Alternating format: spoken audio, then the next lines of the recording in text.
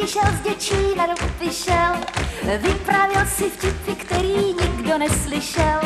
V šel kolem plotu a začal se smát, řekl si totiž anekdotu,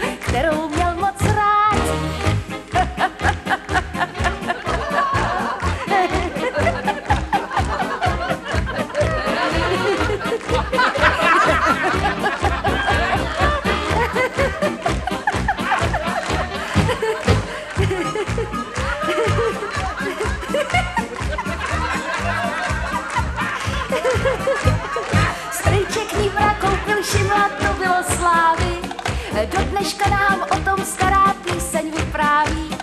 Když však jsem si šimla všimla, tak jsem zjistila, že to není šiml, byla to kopila.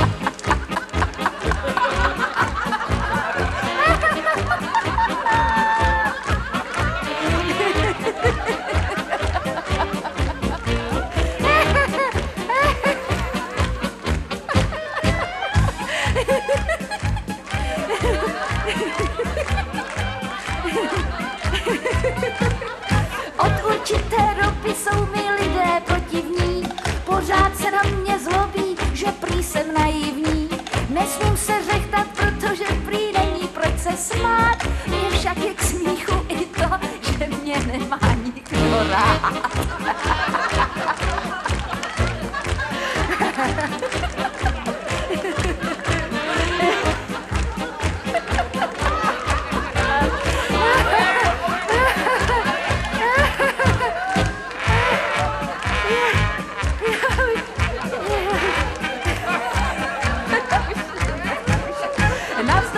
もっこり